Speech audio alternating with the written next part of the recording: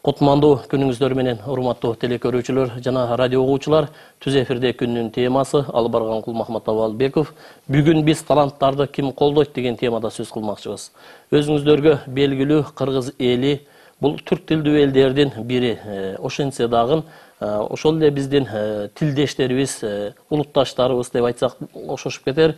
Балким ушул казак элинин уйгур өзбек жана башка түрк тилдүү элдердин кыргыз элинин дагы бир өзгөчө айырмачылыгы бул кыргыздардагы манасчылык жана төкмө акынчылык айырмачылыктары бар. Албетте казак элинде дагы төкмө акындар бар деңизчи бирок аларга салыштырмалуу биздикинин бир топ айырмасы бар экендигин мен жеке жаран катары өзүм байкап жүрөм.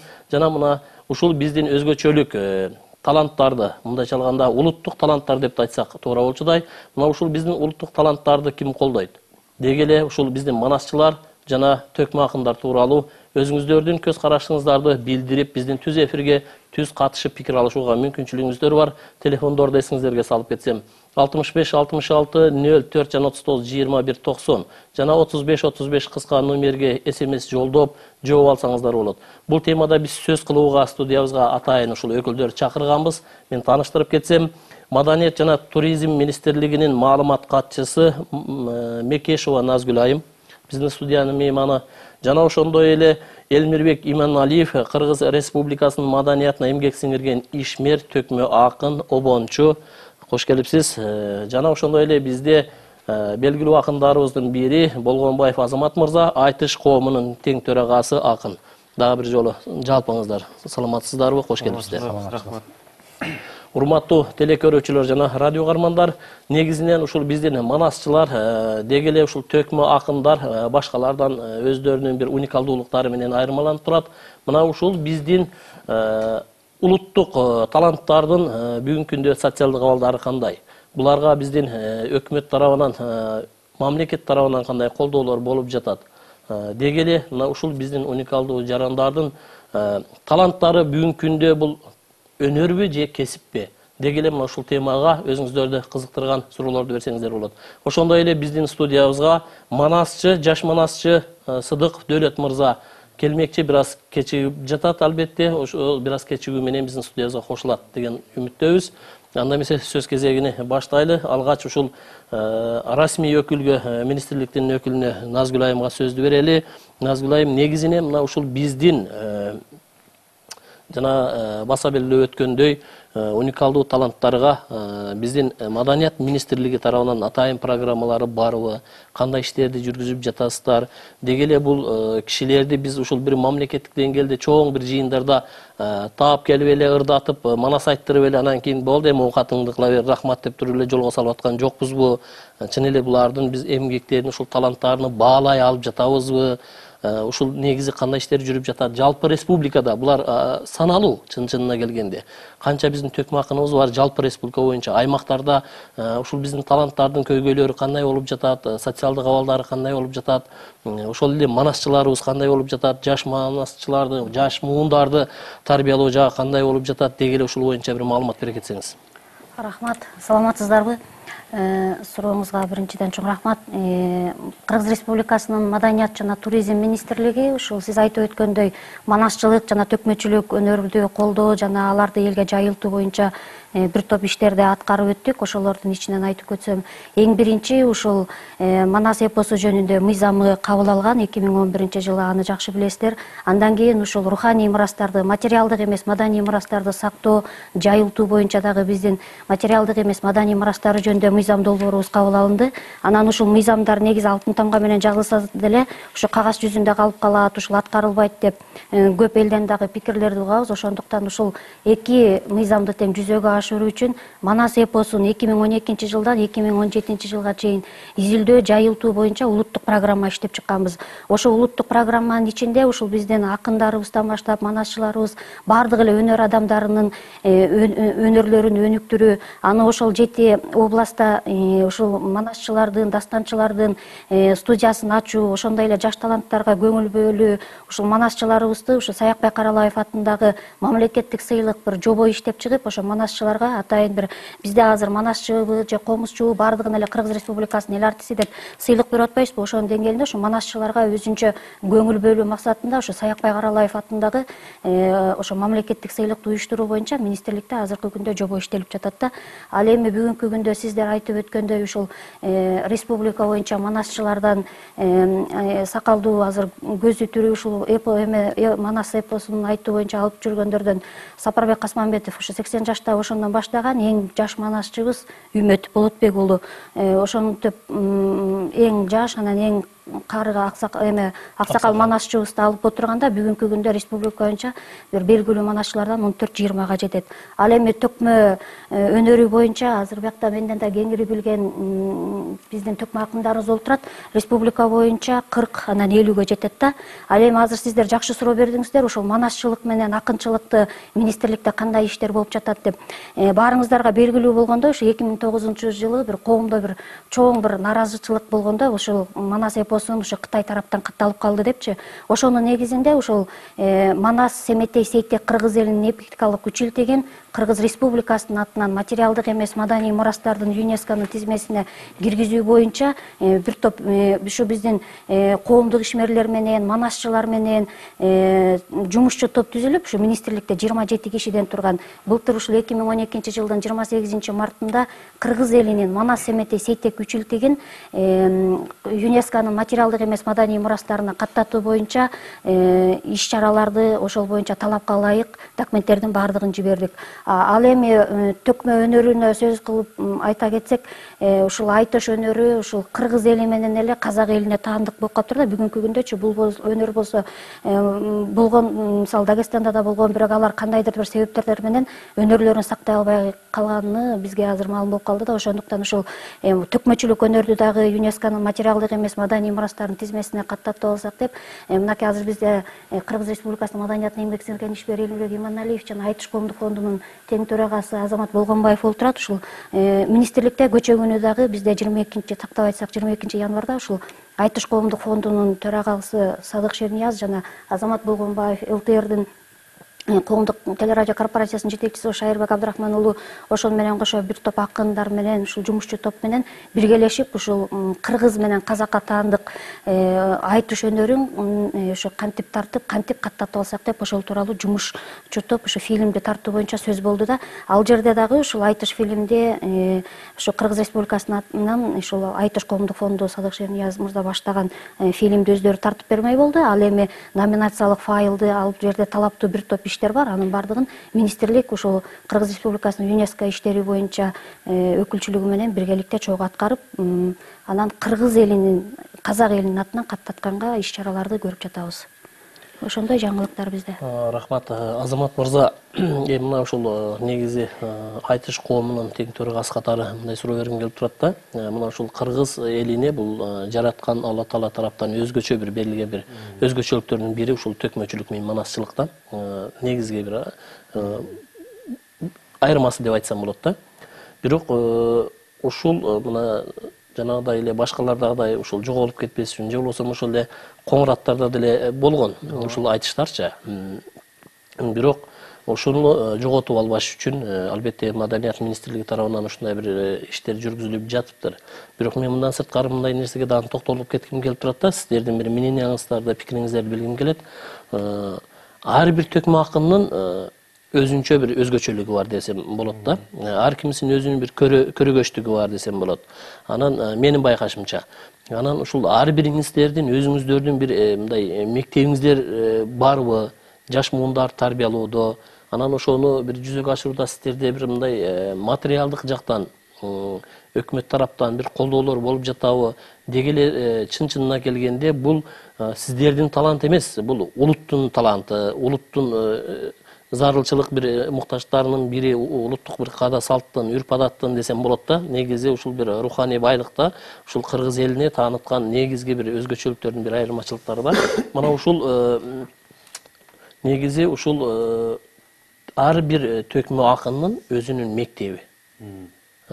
Деги эле ушул жаатта иш жүрүп жатабы же болбосо сиздер өзүңүздөр менен эле чектелип жатасыздарбы ушул боюнча пикириңиздерди билсек. Туура айтасыз кыргыз элинин маданий мурастарынын кыргыз улутунун каадырын баркын көтөрө турган албетте эң алгачкы орунда бул манасчылык өнөр турат андан кийинки эле мына ушул төкмө акындар комузчулар элдик өнөрдү алып жүргөн өкүлдөр. Сурооңуз дагы абдан жакшы болду. Айтыш коомдук фонду мына түзүлгөнүнө быйыл кудай буюрса он эки жыл болот. Ушул он эки жылдын аралыгында айтыш коомдук фонду алкагында калемгер адабий клубу түзүлгөн жана ошонун алкагында айтыш фильм кино студиясы түзүлгөн ушул үч тармак болуп иштеп олтуруп он эки жылдын аралыгында үч миллион доллардын ар жак бери жагында каражат сарптады мунун ушул каражаттын жарымынан көбүрөөгү ушул төкмө акындарга сарпталды себеби ушул төкмө акындарды үйрөтүүдө айтыш коомдук фондунун бир чоң мектеби түптөлүп калды десек болот да. Анткени ушул эки миң биринчи жылдан бери түзүлгөндөн бери ушул он күндүк сабак деп айдын айына үч жолу ушул ар бир он күн сайын чогулуп жаштарга өнөр үйрөнөм деген ушул көкүрөгүндө чымыны бар балдарга ушул он эки жылдан бери таалим тарбия берип келатат эки миң биринчи жылдан бери түзүлгөндө ушул элибиздин залкарлары ашыралы атабыз тууганбай атабыз келип ошол жерде таалим тарбия берчү эле а кишилердин көзү өтүп кетти ошол көзү өтүп кеткенден кийин бир жыл абдан кыйналдык ушул мектебибизди кайра бир ордуна кое албайчы себеби устаттарыбыз өтүп кетти сабак таалим тарбия берип оңдоп түзөй турган адамдарды жоготуп алдык да анан ушул кайрадан ушул бул жерде отурган мына элмирбек агабыз кыргыздын ак таңдай акындарынын бири амантай кутманалиев агабыз шекербек адылов агабыз анан алып туткушев деген акындар болуп мына ушул төрт адам азыр айтыш коомдук фондунда он күн сайын балдардын маңдайына коюп алып ыры кандай болуш керек кеби кандай болуш керек айтышта кандай ырдаш керек казак кыргыз ортосунда айтыш болгондо кандай маңызды ырдаш керек кандай мааниде ырдаш керек айтор көкүрөгүндө болгон уккан билген көргөн туйганын баардыгын ушул жаштарга бөлүшүп келет. Эми бул акындык өнөргө саны боюнча айта турган болсок аралашып кетем деген адам же болбосо ошону арбытып кеткен сейрек болот экен канча жаштар келет бирок ушул жолун арбыта албай калат бирок кудайга шүгүр азыр мына он бешке чукул жыйырма беш жашка чейинки жаштар азыр ошол айтыш коомдук фондунда таалим тарбия алып атат албетте баягы илгеркидей болуп токтогул өзүнчө ээрчитип жүргөн шакирттерден баягы шарт ошондой болгон ал учурда. Анан азыр эми баардыгы борборго чогулуп калды. Ушул төрт устат айтыш коомдук фондуна баардыгы чогултуп алып ошол жерде таалим тарбиясын акыл насаатын үйрөтүп атат. Эми мына борбордо ушундай жумуш жүрүп атыптыр. Эми аймактарда кандай болуп жатат? Аймактарда дагы албетте баягы коомдук негизде аракет кылган инсандар бар. Маселен жалал абадта рахматулла кобузкеев деген ак таңдай төкмө акын кыргыздын ушул жез таңдай деген фонд түзүп ошол жерде өзү устаттык кылып өнөрдү аркалап жүргөн инсандардын баарын чогултуп жаштарга таалим тарбия берип эле ушул негизде иштеп келе жатат маселен ошто ак таңдай деген коомдук фонд бар.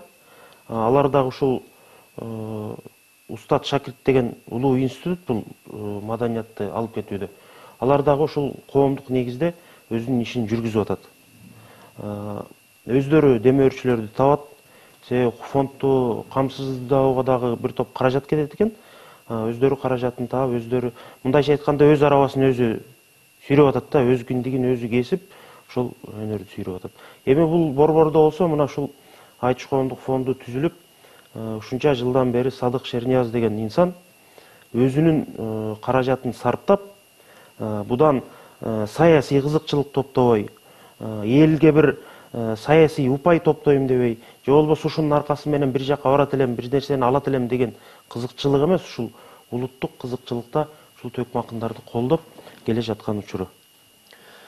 Рахмат элмирбек мырза. Эми негизи менен мен менин албетте бул биринчиден жеке пикирим. Мисалы үчүн ар бир киши олтуруп алып мындай чиймелеп бир ырларды жазып эки сөз кошуп жазып мындай бир акын болбосо деле акындарга жетпесе деле мындай бир эки токуп жазышы мүмкүн бирок ушунчалык ак көз кара көздөр карап чоң жыйындарда туруп алып ошол жерден чуккандай сөз таап ошол жердеги окуяны кошо кетип мындай айткан бул өзүнчө бир жана мен башында айткандай бир алла тааланын берген эле бир өзгөчө бир мүмкүнчүлүгү болсо керек да деп ойлойм бирок иш жүзүндө бул кандай чын эле ошондойбу же кандайдыр бир ушуга бир жөн эле бир мен ырдай алам деген кишини же болбосо жанагы ырларды жаттап жаттап фонограмма менен жазып артист болуп атат албетте биздин жалпы артисттерибиз таарынбасын менин араларында жок эмес бар мына ошондой болуп ырдаган артисттер сыяктуу эле бир ырдай алган кишини алып келип алып эле комуз черте алган кишини билип эле ушул сен төкмө акын болосуң деп эле улам сабак бере берсе ошондон төкмө акын чыгабы же чыкпайбы қызық ә, жақсы сұрау болды. Негізі ә, бұл бір ушу құдайдың бергенде дағы ә, тандап тұрып бір сүйікті еліне берген өнердей сезіліп кетеді да мен үшін. Ә, ушунча ә, қанчалаған ұлыт бізден сан жағынан арбын ә, бізден бай ә, бізден турмушу мыкты өтүп аткан элдерде тилекке каршы бул өнөр кездешкен жок бул бизде эми ушунун өзүндө бир улуу сыр жатат да бул бир касиет ушул кыргыз элине казак элине берген. Кээде мындай талкуулар болуп жүрдү бул баардык эле элдерде болгон экен болгону сактап кала алган эмес деп. Эми муну деле тарых жаатынан алып ал өңүттө карап көрсөк биз ошо сактап калуу касиетине ээ болгондон кийин бул дагы бир өзгөчө тубаса белгиси ал эми төкмө акындыкты э, окутуп үйрөтүүгө болобу даярдоого болобу деген э, бул суроолордун э, тегерегинде дагы аябай ой калчап талкуу жүрүп ал тургай бир топ илимпоздорубуз иликтеп жүрөт эми байкап отурсак мындай аракеттер да болгон маселен ушу канатташ казак элинде айтышты мамлекеттик деңгээлде колго алып башкача айтканда түздөн түз президентти көз салып дегендей милдеттүү түрдө алардын телеканалдары маданият министрлиги баары бир жапатырмак киришкен да ошол мезгилде булар бир топ жетишкендиктерге келген. Маселен биздин бир утушубуз кыргыз элинде советтер союзунун курамында турган кезде биздин залкар акындарыбыз мындайча айтканда биздин төкмө акындардын алды сссрдин эл артисти болгонго жеткен. Төкмө акындык өнөрү менен бул эстебиз турсуналиев аксакал ошол кезде казактар көрүп ойбай мынаулар сууруп салма акындарын кармап жүр экен ғой. Филармониясында эмгек этет экен мамлекеттик сыйлыктар тапшырылган экен биз неге кыла албайбыз аша чаап кетти деп намыстанып анан булар ушундай бир катуу аракет кылган кезде кадимкидей эле мектеп аралык айтыштан баштап аудан аралык айтышка чейин болбосо кадимки эле бир эки эмгекчи бригадалар бири бири менен жанагындай бизде өтчү эле го малчылардын слеты ошого окшогон жерлерде айтыш кылышкан. Айтыш кылганда кантип кылган? Алдына кадимки жана пультту коюп ал жерде текстти жакшынакай кылып чаптап анан домбураны алып алып эле эл деле көрүп турат аны. Иши кылып өзү даярдап келип туруп сахнада айтышкан айтыштары болгон. Ошол эле учурда суу самырда бир окуяны бизге устатыбыз тууганбай абдиев көп айтчу малчыларды ал кезде баягы аңыракай кенес аңыракай менен суусамырды алмаштырып пайдаланышкан кыштоону биздин кыргыздар барып кыштаса жайында суусамырда казак малчылар анан ошондо сүлөт болду дейт. Анан эки казактын акыны келип эми суусамырда каяктагы шарт. Жазган барагын төрт бурчун төрт таш менен мынтип бастырып шамал да учуруп кетпесин. Ушинтип айтышып атышат дейт окуп. Анан артынан келип калып анан мен мынтип ырдап кошуп койдум дейт. Ой бул кагаздан да акын окуйбу казактан көрдүм кокуйду эгер казак кагаздан акын окуса кел анда үчөөлөп алып окуйлу деп тууганбай абдиев бул киши ушундай курч ырдаган адам эле дегенде ошондо бир уят карышкан да демек демек бул аракет анан мен өзүм дагы ал казакстанда көп айтышып жүргөн адам катары билем кадимки эле ушул алардын биздей улуттук университетинин филфагында окуган жигиттер э, музыкалык слуху бар болсо бир аз домбура үйрөнүүгө тезирээк ашыгат дагы акын болуп чыгып э, таанылып ол чойгон байгелерди алып кеткиси келген аракеттери бар. Чыгарса болот бирок анын тамыры жука болуп калат да. Окутупчу маселен ыр жазган кишини э, окутуп жанагы жазып келип ырдатып анан аз аздан бирден э, өзү кошо калып кылышы мүмкүн. Бирок мен төкмакын дегенди мындай элестетем. Же бул ашкере улуттук өнөргө сүйүүмүн күчтүүлүгүнөнбү? Мисалы биздин болош шерниязов деген агабыз көк бөрүнү көтөрүп аткан кезде мындай бир сөз бар эле. Эрең иш ат үстүндөгү тыйын эңмей э, ат чабыш ушулардын баары бул көк бөрү оюнунун компоненттери деп анысыңардай мен деле ошондой айтат элем. Комузчулук ырчылык актердук чеберчилиги акындык касиети булар баары биригип төгөрөгү төп келгенде ошону биз төкмө акын деп атасак жаңылышпайбыз да. Анан анын баарына жетиш үчүн албетте жалгыз эле кудай теңир таала берген бул талантка таянып албай талай сөздүн түмөн түйшүгүн тартып көп аракеттерди кылып көп окуп көп так чыгыш керек да. Рахмат. Урматтуу биздин радио каармандар жана телекөрүүчүлөр биздин студиябызга мен башында баса белгилеп өткөн жаш манасчыбыз сыдыков дөөлөт мырза келип кошулду саламатсызбы дөөлөт мырза кош келипсиз дөөлөт мырза эми биз баягы сөзүбүздүн башында сиз кечигип калган учурда айттык ушул кыргыздын өзгөчөлүгү ушул негизинен улуттук бир башкача бир таланттар бар өзүнчө бир ушул бир багыт бар бул манасчылык менен төкмө акынчылык депчи бирок ушул манасчылык жаатында кандай бул кандай өнөрбү кесиппи негизи эле ушул жолду кантип тандап алдыңар силер?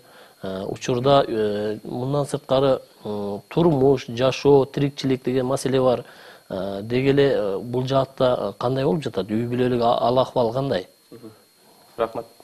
Арыбаңыздар уюткулуу кыргыз калкы саламдашпай кеп баштап дейт эми бул манасчылыктын жеке өзүнө келе турган болсок илгертен ата бабаларыбыз манастын арбагына сыйынып таазим кылып өнөрдөн да жогору баалап касиет катары сыйынып келген.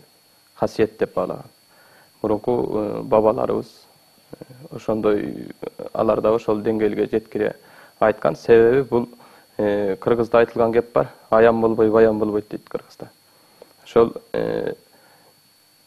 аяндын дагы эки түрү болот. Түшүндө анан өңүндө деп.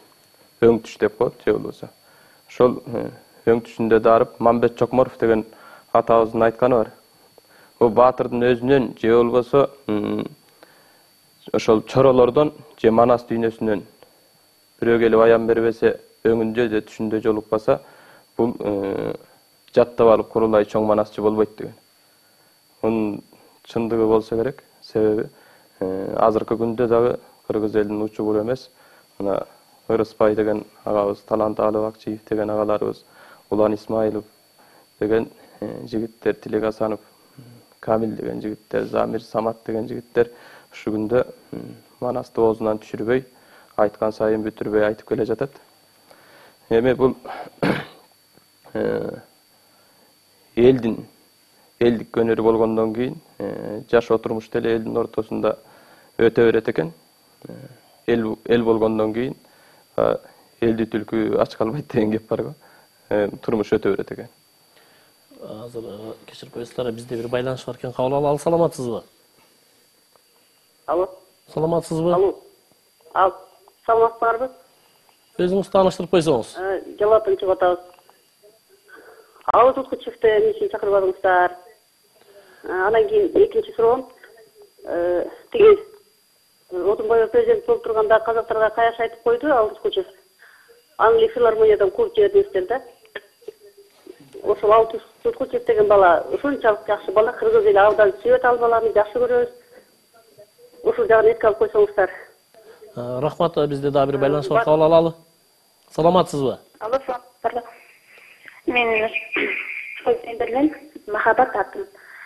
Мен ушу төкмө акындарга суроо берейин деди элем ушу төкмө акынды кыргыз эли аябай баалайт да. Анан азыркы убакта мындай телевизордон негизи көп берилбейт да ушундай эмне үчүн айтыш болуп атат бирок бир жол берилет да болду эми аны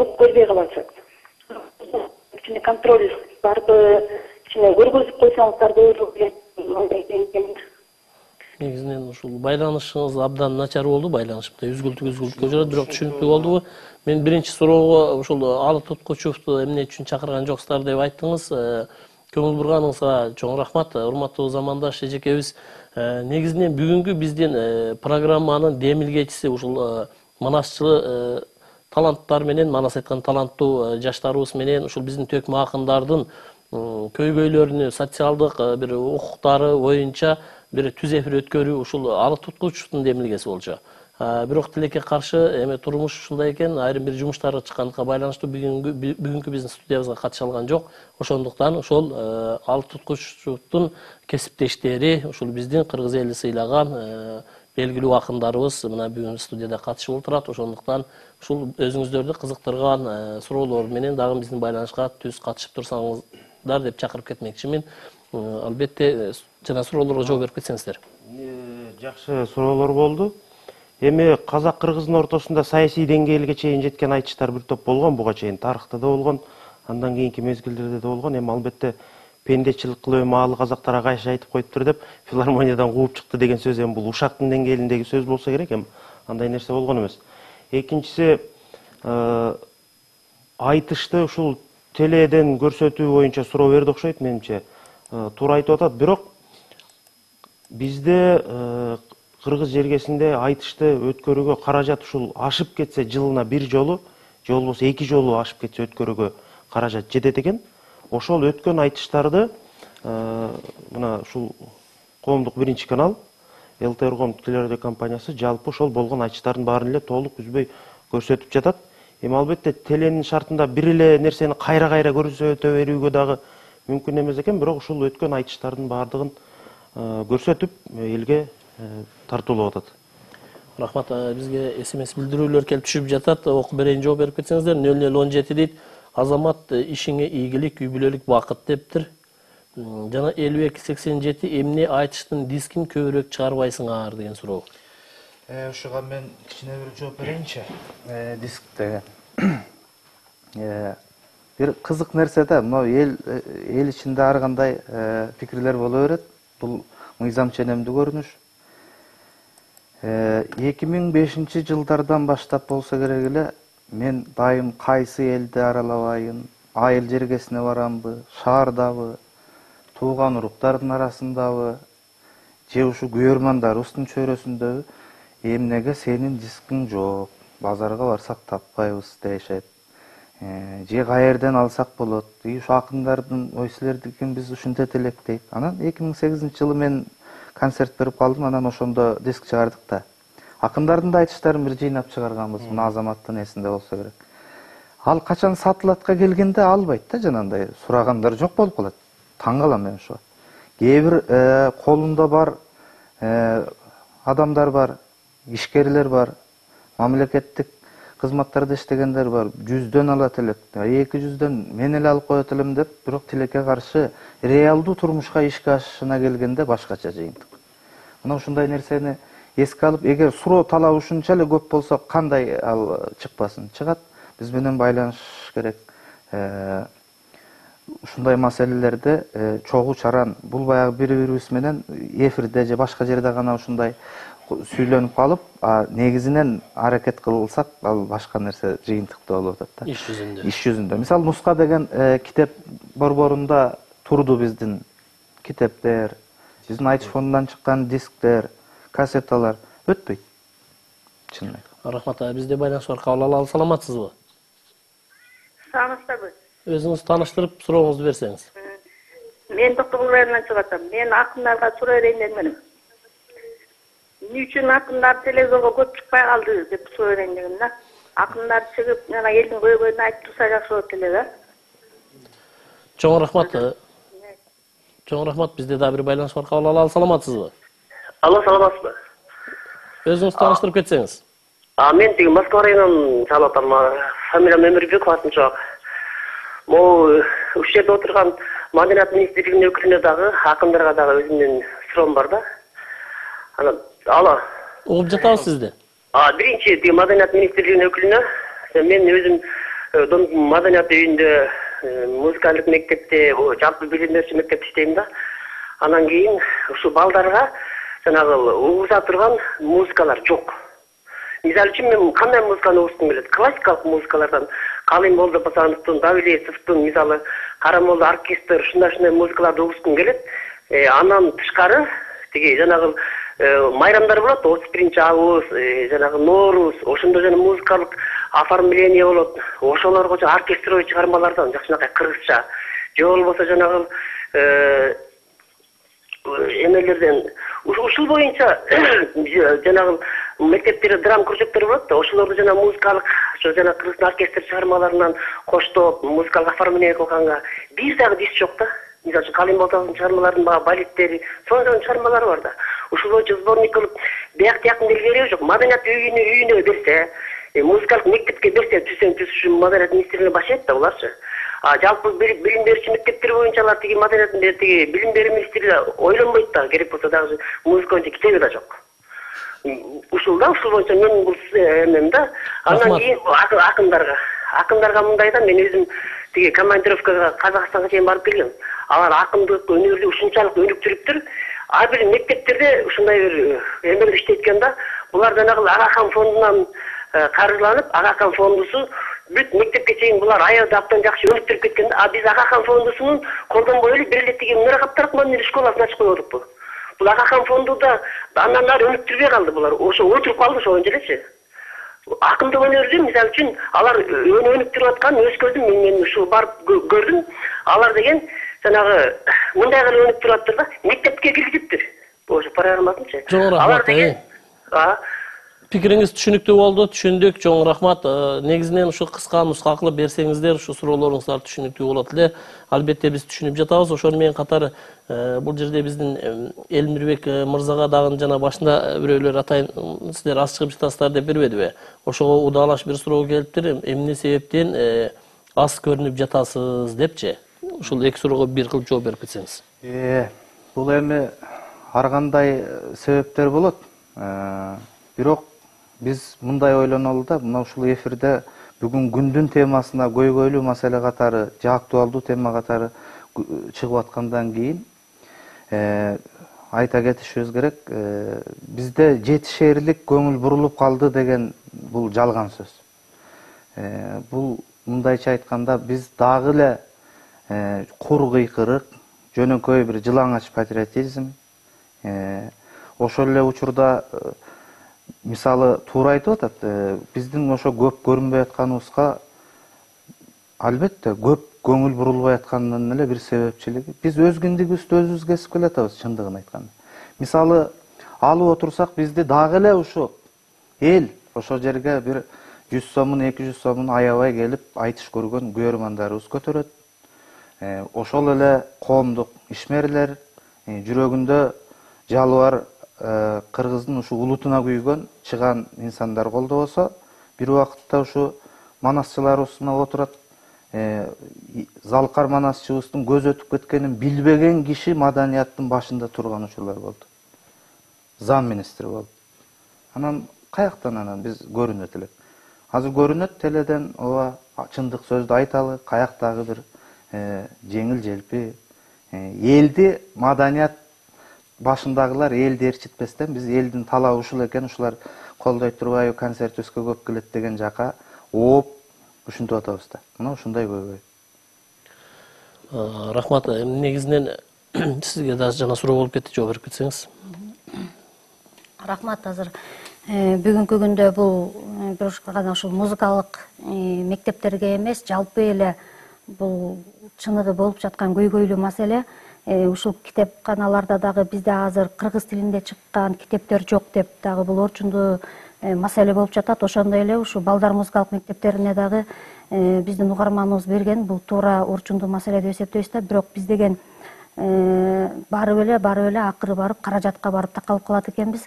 Бирок ошондой болсо дагы биз маданият министрлиги жана улуттук программа иштеп чыктык деп атпайбызбы ошондо дагы ушу э, манасчыларды жайылтуу боюнча дагы манасчылык өнөрдү жайылтууда дагы ушул биздин кыргыз республикасында ушул биздин мамлекетибизде сексен алты манасчынын сексен алты варианты бар экен да. Ошону дагы биз ушу улуттук программага киргизип ошо республикалык бюджеттен каржылап э, ошону ушул чыгарталы деп ошо дискке жөнүндө сөз болуп атат да ошо дискке чыгарталы деп ошондой э, иш план кабыл алдык элек. Ошол кыргыз эме патент тарабынан каржыланып ошол биздин ушул манасчыларыбыздын диски чыгарылып атат.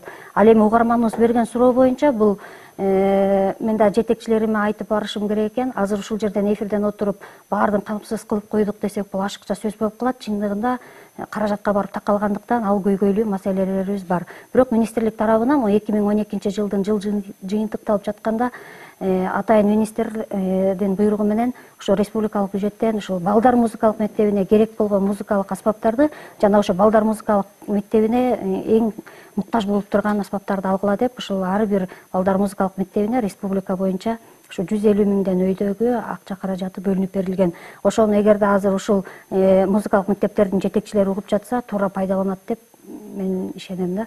И биз да көзөмөлдөгөнгө аракет кылабыз. Рахмат бизде байланыш бар кабыл алалы саламатсызбы алло.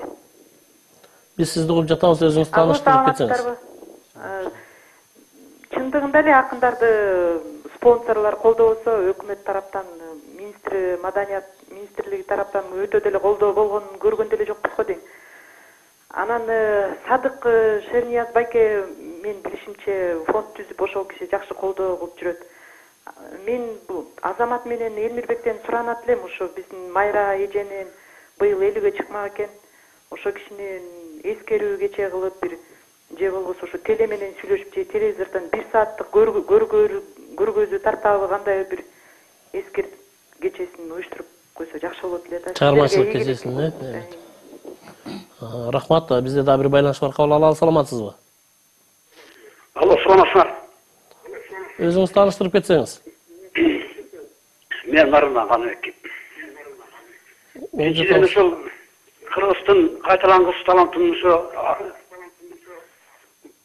дүйнөгө таанытып жаткан ушу азаматтарга рахматымды билдирет элем анан суроо мындай ошол төкмөчүлөргө ушу өкмөттөн канчалык деңгээлде ушу колдоо көргөзүп келет анан бул элбирбек мырза илим айтат элем ушу экрандан көп көрүнбөй кетиппиз да ушул жөнүндө дагы кыскача айтып берсеңиз чоң рахмат чоң рахмат жооп берип кетсеңиздер Э, биринчи суроону азамат жооп берет окшойт Э, тиги майра керим кызынын элүүгө чыкмак экен деген да кудай буюрса э, баягы каражатыбызга жараша алып эге алдына жараша дегенде айчы коомдук фонду быйыл көп иш чараларды пландадык кудай буюрса булардын алгачкысы эле ушул жыйырма беш жашка чейинки төкмө акындардын республикалык айтышы ушул кыргыз радиосу менен биргеликте коомдук телерадио компаниянын кыргыз радиосу менен биргеликте ушул февраль айынын ортосунда айтыш өткөргөн атабыз чоң республикалык деңгээлде. Себеби буга чейин айтышыбыз элмирбек эле ала береткен жеңишбек эле ала береткен ал ала береткен же башка ала береткен деп ушундай сөздөр да болуп калат анан ушул жаштарга бир дем болсун стимул болсун деп жыйырма беш жашка чейинкилердин айтышын өткөрүп атабыз кудай буюрса норузга казак кыргыздын чоң айтышын пландап атабыз кудай буюрса бул дагы өтө чоң байге менен болот кудай буюрса буга чейинкидей буга чейин беш жүз миң сом байге фонд менен өткөрүп келдик эле кудай буюрса быйыл ушул миллион кылабыз деген оюбуз бар байге фондун анан майра жеңебиз дагы ушул башыбызга жазган кудайдын нерсеси экенин төрөлмөк бар. Анан ушул айтыштын көркеле айтыштын бир аял заты катары эне катары ушул бир мээрими чачкан акындардын бири эле кудай буюрса мына быйыл элүү жашка чыгат майра жеңебиз муну дагы көз жаздында калбай турган нерсе албетте кудай буюрса ушул майра жеңенин элүү жылдыгына арнап бир чоң эскерүү кечесин өткөрөбүз деген ой максаттарыбыз бар кудай буюрса бирок ушул жылдын этектеп кылат болушубуз керек кудай буюрса ушул эки миң он үчүнчү эки миң он үчүнчү жылдын ооба эми мени ушул э, түз эфирден көрүп экрандан көрүнбөй кеттиң деген көрү- кө- көрүүчүлөрдүн баарына эле бир айтып кетейин Э, быйыл кудай буюрса менин да ушу чыгармачылык жолго аттанганыма жыйырма жыл толуп атат Э, быйылкы жылда өзүмдүн ошо чыгармачылыгым жыйырма жылдык отчеттук концертин берем. Абай салып байкап турсаңыздар ушу жаныман көргөнгө да мүмкүнчүлүк бар экрандан көргөнгө да мүмкүнчүлүк болот жакшы М, эми э, дөөлөт мырза э, мына ушул манасчылык э, боюнча сөз кайра улантып кетсеңер да манасчылыкты бул жана өзүңөр айттыңар кандайдыр бир түш көрүү жолу менен кандайдыр бир өзүнчө бир кандайдыр бир билинбеген өзүнүн бир шарапаттары менен мына ушундай бир манасчы болуп калуу же ушул өнөрдү аркалап калуу мүмкүнчүлүгү бар деп албетте бул деле бир алла тааланын бир берген өзүнчө бир мүмкүнчүлүгү болуш керек анткени ушул жана биз башынан бери айтып жатабыз дагын айтып дагы канча айтсак деле жараша берет да бул сөздүчү себеби ушул кыргыздын улуттук өзгөчөлүгү мына негизинен ушул манас төкмө акындыктарда көп нерсе бар да фонограмма жазып ырдай беребиз Э, эки алып эки сөздү окшоштуруп анча жазып уюкаштырып эптеп бирдекени жазып э, акын болбосок да мындай окшоштуруп жазсак болот бирок көпчүлүк элдин журттун алдында туруп алып колубузда комуз алып чукандай сүз таап ырдап бир- бирөөдү кошо кетип ошол жерден э, бул өзгөчө бир э, өзгөчө бир талант болуш керек. Ошондой эле ушул манасты ушунча э, баарын жаттап алуу э, жаттап алган киши деле болсо бир жерден болсо бир жерден адашып кетиши мүмкүн да. Негизинен ушул адашпай э, түн болсо деле күн болсо деле айтып э, келатасыңар. Э, негизинен ушул манасчылык өнөрдө кыргыз элде учурда мындан ары өнүктүрүү маселеси кандай жолго коюлуп жатат? Негизи манасчылар өзү ушул манасчылык өнөр жоюлуп кетпеси үчүн мындан ары дагы аракет кылып жаш муундарга кошумча бир кеңештерди берүү жаатында кандай бир иштер жүргүзүлүп жатат? Мындан сырткары ошо деги эле ушул манасчылардын учурда социалдык абалы кандай менин жекече пикиримде мен мындай ойлойт элем да башка маданият тармагындагы кызматкерлерден айырмасы төкмө акындар менен манасчылардыкы бул алла таала берген кесип өнөр дагы кесип дагы кошумча жумуш иштебей эле мына ушул кишилерге айлыкты мамлекеттин борбордук казынасынан төлөп бүгүнкү күндө айталы жыйырма беш миңге ал жетеби отуз миңге ушу үй бүлөсү менен кыйналбай жашагандай кылып төлөп берип туруп эле эч жерге иштетпей. Жалаң ушул ырдатып ушул алла тааланын берген бир өнөрү кесиби менен ушуларды бир мындай э, колго ала турган саналуу эле кишилер деп ойлойм да менин пикирим албетте. Бирок мына силерде ушул жагы кандай болуп жатат? Ушул колдоо жагы кандай болуп жатат? Андай болсо? Сиз айткандай болсо жакшы эле болмок чынында бирок э, тилекке каршы айтып кетишибиз керек. Биздин ушу манасчылардын башын бириктирип ушу он күндө бир чогултуп кармап турган манас мурас деген коомдук фонд бар. Баткен шернияз агабыз жетектеген он күндө бир чогулуп манасыбызды айтып ой пикирибизди бөлүшүп анан кете турган андан сырткары дагы бакыт раманов деген жигит ошо колдоп чукулда ошо там беребиз деп ага чейин жети кишиге машинасын берип жети манасчыга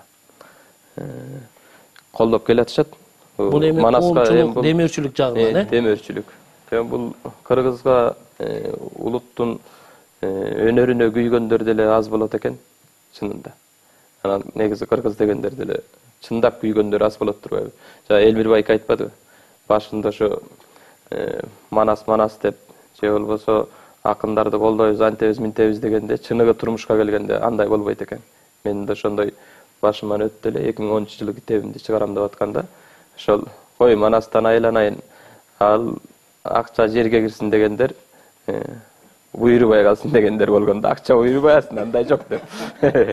Анан бул баары бир коомду элдин алдында арасында чыгып колдогондор менен баары бир бул жетишсиз болот экен да. Себеби мамлекет өзү көз салбаса мамлекет өзү мамлекетти жетектеген биздин төбөлдөрүбүз карабаса бул баары бир көйгөй жарала берет экен анткени ар кимибиз албай алына жараша дегендей көрүп атабыз себеби бул өнөр чоң өнөрдү аркалагандар акындарбы манасчыларбы дастанчыларбы булар соода кылып кете албайт экен же болбосо дагы бир алып сатуу менен же башка көйгөйлүк турмушта болуп аткан көр тиричиликке аралашып кете албайт экен. Анан ошол өнөрдүн артында түшүш үчүн шарт дагы керек экен. Баягы бакпаса бала карабаса катын кетет деген кыргызда кеп бар.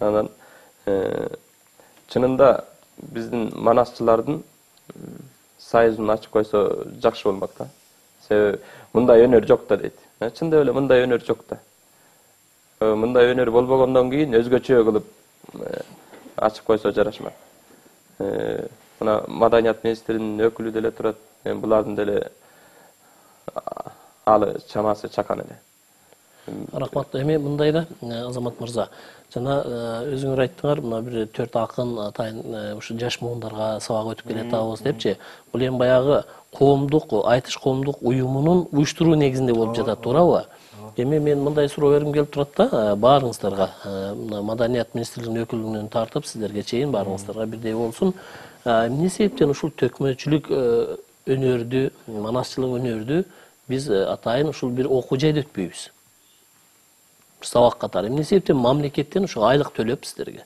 жана элнурбек мырзага мен суроо бергеним негизи ушул суроома багыттап алып келейин деген суроом бол- болчу да ушул айрым акындарды тарбиялап өстүрсөк акын чыгабы төкмө акын деген маселе ошондо болчу да.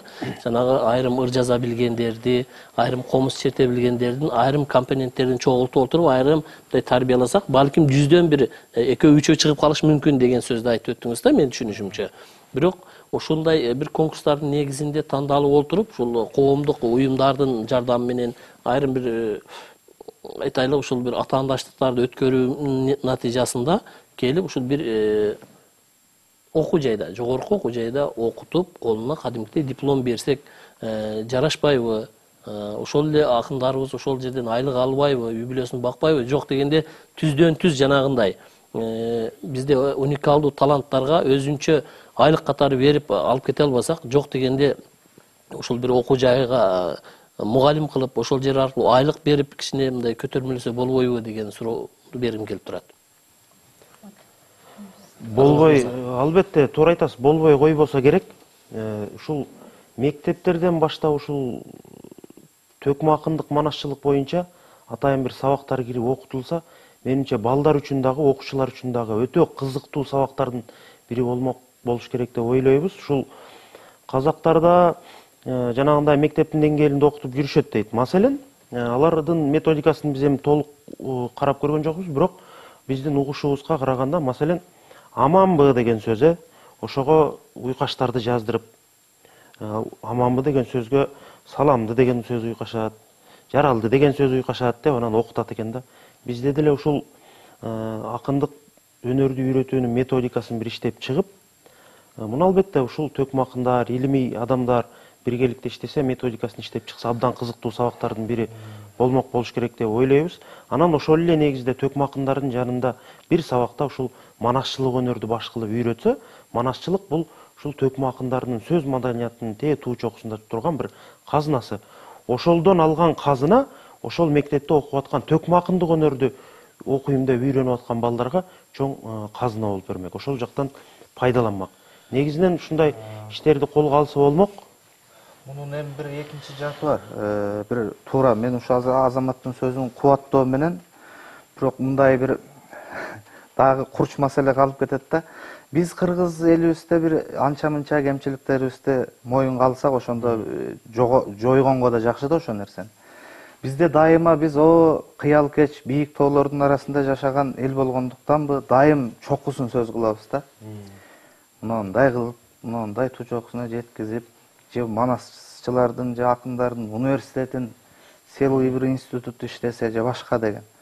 Жок биздечи азыр келип такалып турган жерибизде ачык айтканда биз жоктон төкмө акын тапканды мындай коелу төкмө акындыгын кудай таала касиетти берип өстүрүп келаткан төкмө даяр акындарыбызды жоготуп алууда турабыз чынын айтканда мына мен менен өнөр ушундай акыбалга келди ушул азыр менин көптөгөн студияда окуган кезимде дагы институтта окуган кезимде дагы мен менен окуган группалаш курсташ укмуш таланттуу кыз жигиттер көр тириликтин турмуштун айынан эле ушу ар кимиси ар жака россияга кеткендер болду Э, эй ушул өнөрдүн артынан жүрүп кемсинип жашаганча бөлөк иш кылайын дегендер болду ушундай укмуш таланттар бар эле. Азыр эми ал жагы ырдап көрүнүп жүргөндөрдөн э, бизден күчтүү башкасынан күчтүү таланттарды көрдүм мен. Турмуштун айынан көңүл бөлбөстүктүн айынан кайдыгерликтин айынан анан биз каякта биз анан бир башка нерсени кыял кылууга мүмкүн биз ушу баарын барктай албай атабыз а жогун чыгарышты кичине кийинкиге койбойлу ушу да. Негизинен элимбек мырза мына өзүңүз айтып жатасыз да ушул э, баарына бартап албайлыбы депчи анан жоголуу коркуч алдында турат депчи ошол жоголуу коркунучунун алдында тургандыктан ошону азамат мырзанын пикири да ошондой болуп атат менин суроома да жок ошону жоготуп алуу коркунучунда турсак анан баягы кыргызда бир сөз бар казанда болсо чөмүчкө чыгат депчи бүгүнкү күндө биздин бюджетте казынада болуп аткандан кийин демек жанагыдай бир окуу жайларда бир чоң университет эмес жөн эле бир факультет же болбосо ичинен бир бөлүм бир бөлүмдөрдү ачып эле деген маселе да мындай бир сиз кошумчалап кетесизби абдан жакшы болду бирок азыр деген ушул жерде талкууланып жаткандай эле ушул өзүнчө бир окуу болсо өзүнчө бир факультет болсо деп көп сөз болуп келет да. Ошондуктан ушу топчоюк тургуналиев деп коомдук ишмер баштаган кишилер ушу ишан арабаев атындагы мамлекеттик университетте иштейт.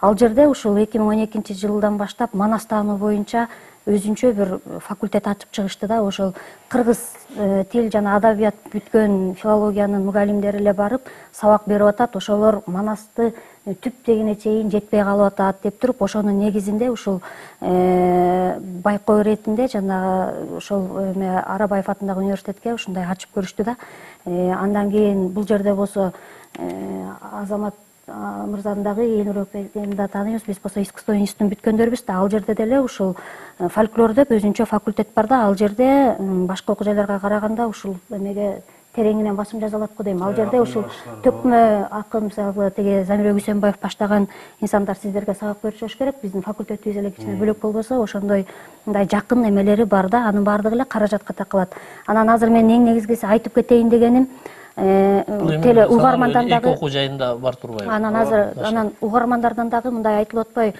маданият министрлиги ушул акындарды жана манасчыларды көп колдобойт депчи. Биз колдойлу эле деп турабыз бирок бизге өкмөт акча берген жок. Ушул э- элестетип көрсөңүздөр эки миң тогузунчу жылы бүт баарыбыз мен кыргыз дегендин баардыгы көзүнөн жаш чыгып кокуй кытай манасты тартып алды деп элдин баары тим эле э, тили чыккан баладан карган кишиге чейин ушунчалык өкүнүч менен кабыл алганбыз. Бирок ошону биз маданият министрлиги ушул коомдук ишмерлер менен манасчылар менен дастанчылар менен акындар менен биргелешип номинацияны иштеп чыктык фильмди тарталы дедик. Ошондо каражатка барып такалат экенбиз. Мен бүгүнкү күндө ачык айтышым кер- керек керек болсо маданият министрлиги өзү демөөрчүлөрдү издеп жүрөт ушу кыргыз республикасынын жогорку кеңешинин депутаты бар карганбек самаков. Ошол кишиге да ушул түз эфир аркылуу ушул жерден ыраазычылык айтып коюшубуз керек. Ушул манас эпосун кыргыз элинин атынан э, манас семете сейтек үчилтигин каттатууда ушул мамлекеттен биз сураган акча каражатты ала албай калдык. Анан ошондуктан ошол бизде талап боюнча ар бир күнү э, убакыты менен жараша да ошого карата ошол акча каражатты бизге депутат карганбек самаков бөлүп берди да. Андан кийин керек болсо маданият министрлиги э, колубуздан келсе берели деп атабыз бирок биз өзүбүз бүгүнкү күндө өзүбүз демөөрчүбүз деп атабыз мынакей азыр биз сөз кылып өткөн ошо айтыш э, жана боз үй деп ушул эки номинацияны кыргыз казак биргелешип өткөрөлү деп атканда дагы ошо фильмди дагы айтыш фильм өздөрү көтөрүп бермей болду. Ал эми боз үйдү тартуу боюнча какса kg коомдук фонду бар. Андан кийин бир эме бизде бир э, белгилүү ушул э, эме кыргыздын боз үйүн изилдеп жүргөн марусич владимир ал дагы бар да алар өзүлөрү каражаттын эсебинен өзүлөрү боз үй боюнча дагы фильмди тартып жатышат. Анан бүгүнкү күндө маданият министрлиги көп эле баардык чыгармачыл инсандарды кыргыздын маданиятына жана искусствосуна салым кошкондордун баардыгын эле м, колдоп ошолордун юбилейин өткөрөлү десек ошол жерден бизден айтышат. Маданият министрлиги бул тойлордун жана юбилейлердин министрлиги болуп калды деп антип дагы эл айтып чыгат. Ал эми өзүбүз биз андай мисалы карамолдо орозовдун кантип жүз отуз жылдыгын өткөрбөйбүз. Ал залкар комузчу болсо андан кийин ошондой иштерди өткөрөбүз. А керек болсо бүгүнкү күндө маданият министрлиги өзүбүз демөөрчүбүз деп издеп өзүбүз ушу кыргыздын манасчылык акынчылык дастанчылык өнөрлөрүн каттатуу боюнча депутаттын өзүнүн чөнтөгүнүн акчасынан пайдаланып отурабыз сөзүнөн мулай мен да эме айтып коеюн атам да жана манас таануу институту ачылып аткан арабаевдагы бул окумуштуулар келечектеги окумуштууларды даярдап атат А консерваторияда манасчылык боюнча жанагы идиреги бар дымагы бар манас айтам дегендер ошо ачылган анан көч башында мен да ошо окуп бүткөм ошо консерваторияны назаркул сейдирахманов деген назаркул сейдирахманов деген элибиздин чоң манасчысы бар ошол киши сабак берет чоң рахмат Бизде байланыш бар кабыл алалы саламатсызбы алло саламатсызбы сурооңузду кыска нуска берсеңиз Э, мен биринчиден бул балдардын талантына таазим этишти айтмакчымын табанды бапестеп өстүрүп аткан бирок темада аябай жакшы тандалыптыр балдарды ким колгойт деген талантты ким колдойт талант албетте эл колдойт бирок бул жерде бир эме манасчы менен акындардын биригип отурушу манасчылар булар болуп өткөн тарых болсо акындар бул тарыхты жаратуучу бул саясатчылар бүгүнкү күндөгү мына ушуну ордун билгенде эл акынды акын деп таанып жетекчи деп таанып эл колдойт сөзсүз түрдө мен өзүм ошонун бир күйөрманымын жана менин айта турганым заман менен замандан алдын жүрө турган жигиттерсиңер убагындагы залкар акындардын ордун ээлеп басып толуктап турган эч бир акындардын жоктугун билдирбеген азамат жигиттерсиңер курчубагыла балдар. Чоң рахмат. Чоң рахмат. Пикириңизге рахмат. Пикирлер болду могул элдик озеки чыгармачылык эки миң үчүнчү жылы ушул бексултан жакиев атабыздын чоң демилгеси менен ошол жерде садык шернияз баардыгы ушул чыгармачыл инсандар биригип элдик озеки чыгармачылык булар манасчылар акындар дастанчылар ушул юнескода материалдык эмес адамзаттын руханий шедеври адамзаттын материалдык эмес руханий шедеври деп катталды эле. Быйыл мына ушул абдан жакшы иш чаралар жүрүп атат ушул айтышты дагы ушул руханий шедевр катары көрүүгө. Бул эми казак менен кыргыздын экөө биргелешип долбоор жөнөтүп атат. Эми бул жерде дагы айрым учурда куру патриотизм кылып кыргыздар өздөрү эле жөнөтсө болмок эми казакка биригип дебей ушундай ой пикирлер болду. Туура казактын да моралдык укугу бар. Себеби алардын дагы акындары бар алар дагы бул өнөрдү аздектеп кадырлап сыйлап келген. Алардын дагы ушул өнөрдү аркалаган улуу акындары бар. Эки элдин ортосунда ынтымагын сактап эки элдин ортосундагы кадырды сыйдырдап жүргөн. Анан биз болгону ушул кыргыздын төкмө акындык өнөрү ошол казактын өнөрүнөн улуу экенин бийик турат экенин тарыхый экенин канча сан кылым жашап келгенин ушул элибиз уга билип туя билип бийлик башында турган адамдар колдой билип ошол улуу экенин өзүбүзгө өзүбүз далилдеп беришибиз керек жана сырттагы адамдарга. Рахмат бизге бир канча смс түшүп жатат окуп берейин. Тиешелүүнүнө жооп берип кетсеңиздер он беш отуз үч дөөлөт байке чоң ийгилик каалайм. Мен бааламдын атын сиздин атыңыздан койгом жакып таластан отуз төрт маданият министрлиги манасчыларды концерттик номер катары гана көрөт качан министрлик манасчылык боюнча башкача айтканда иш жүргүзөт деген суроо. Эсиңизге тутуп коюңуз жооп берип кетиңиз. нөл бир элүү алты баардык төкмө акындарга салам чыгармачылык ийгилик каалап агаңар эргеш дейт.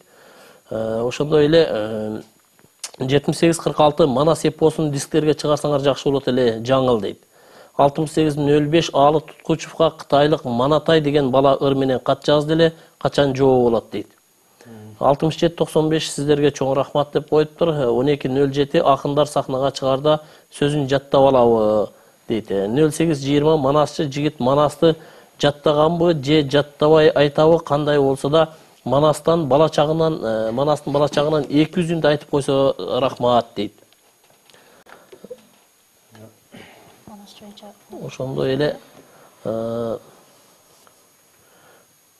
жыйырма бир жыйырма тогуз саламатсыңарбы? Телевизор аркылуу жума сайын дейт. Жок дегенде бир жолу биздин чоңдордун жорук жоосундарын элге тамаша тартуулап турсаңар жакшы болот эле деген ийгилик. Албетте менин элмирбек суроом бар сен айчүрөктүн иниси болосуңбу деген да суроо келип түшүптүр эмнеге калктын деңгээлинде болсо керек дейт так жооп беребизби элмирбек балам дискиңди кайдан тапсам болот дейт элүү алты токсон бир деген абоненттен албетте толтура смстер келди урматтуу телекөрүүчүлөр эми биз мунун баарына жооп бергенге убактыбыз чектелүү болуп жатат азыр кыскача жооп берип кетсеңиздер тиешелүүнө ал эми бул жерден жетишпей калган смстерге биз студиянын меймандарынан жооп алып эртең радио күзөт программасынан саат жетиден элүү мүнөт өткөндө жоопту уга аласыздар деп ишендирип кетмекчибиз.